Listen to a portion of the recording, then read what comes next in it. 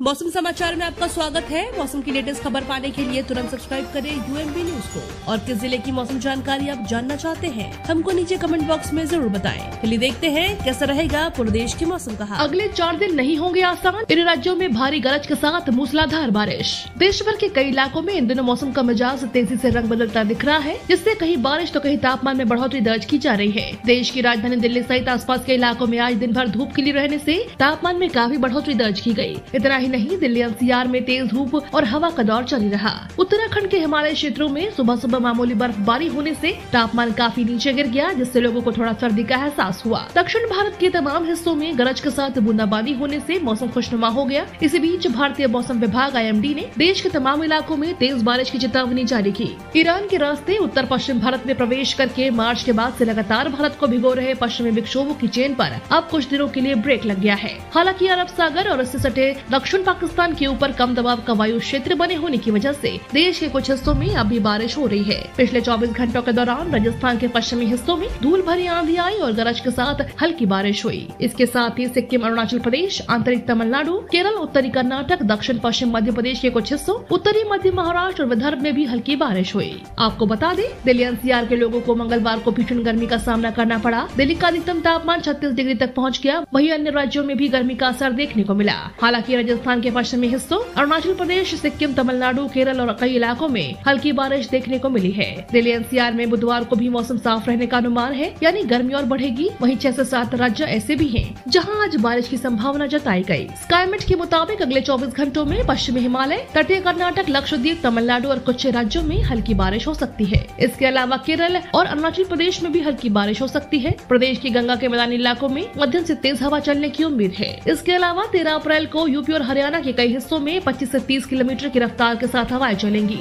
आपको बता दें, इससे पहले मौसम विभाग ने अगले पाँच दिनों के दौरान मौसम की जानकारी देते हुए बुलेटिन में बताया था की धीरे धीरे अब तापमान बढ़ना शुरू होगा और तेरह अप्रैल ऐसी उन्नीस अप्रैल के बीच देश के कई हिस्सों में लू चलेगी। इन इलाकों में हो सकती है बारिश। मौसम विभाग ने ट्वीट करते हुए लिखा कि दिल्ली के नरेला, बवाना, जफरपुर डेरा मंडी एनसीआर के ग्रेटर नोएडा, गुरुग्राम, फरीदाबाद, हरियाणा के भिवानी, चरखी दादरी, मटरहेल, झज्जर और राजस्थान के सादरपुर में आज तीस ऐसी चालीस किलोमीटर प्रति घंटे की रफ्तार से तेज हवाएँ चलने और हल्की बारिश के आसार हैं। इन इलाकों में कैसा रहेगा मौसम का मिजाज? आईएमडी के अनुसार आगामी 12 घंटों में दक्षिण आंतरिक कर्नाटक और तमिलनाडु में तेज गरज और हवा के साथ झमाझम बारिश होने की संभावना जताई गई साथ ही गुजरात, मध्य महाराष्ट्र, मराठवाड़ा, कोकण और केरल में भी आगामी तीन दिनों में आंधी और तूफ़ान के साथ भारी बारिश की संभावना जताई गई है। इतना ही नहीं, इन इलाकों में बारिश के साथ ओलावृष्टि और बिजली गिरने की चेतावनी भी जारी की गई। इसके अलावा ओडिशा, सिक्किम और बंगाल में आज से दो दिन तक बिजली की चमक और काले बादलों की गरज के साथ तेज बारिश की संभावना है।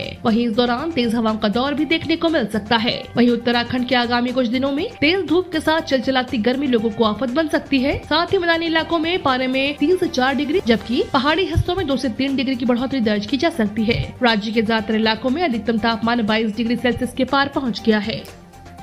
वीडियो को अंत तक देखने के लिए आपका बहुत बहुत शुक्रिया। आपका दिन शुभ हो।